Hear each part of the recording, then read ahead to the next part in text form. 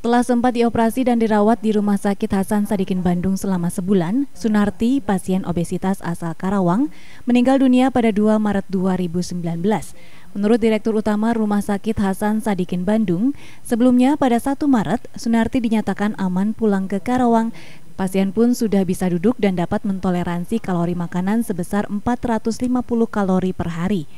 Saat pulang, pasien pun dibekali obat-obatan dan edukasi asupan makanan yang sesuai dengan kebutuhannya.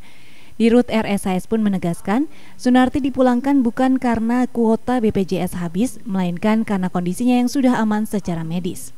Dan kami memang dari awal menyadari untuk penyakit yang diderita oleh Ibu Sunarti ini akan memakan biaya banyak tapi kami sejak awal, sejak rapat pertama, kami sudah berkomitmen bahwa tetap melayani dengan optimal, dengan fokus pada keselamatan pasien, tidak melihat uh, paket BPJS dan sebagainya, karena indikasi medis nomor satu.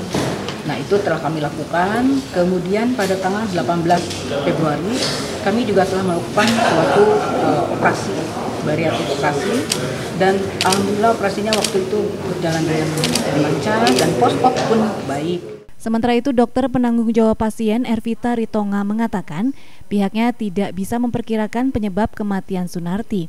Namun berdasarkan penelitian, biasanya penyebab kematian pasien obesitas adalah gangguan jantung, paru-paru, dan infeksi. Kalau kita lihat penyebab kematian pada pasien dengan uh, obesitas yang morbid, yang secara umum itu yang paling e, besar penyebab kematian adalah satu masalah penyakit jantung, kemudian yang kedua adalah emboli paru-paru, yang ketiga e, adalah infeksi.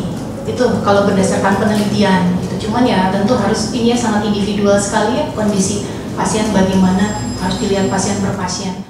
Tim dokter RSIS pun menyatakan belajar dari kasus Sunarti, masyarakat harus menjaga diri agar tidak mengalami obesitas karena obesitas dan stunting atau kurang gizi dapat dicegah dengan pola hidup sehat. Budi Hartati, Bandung TV.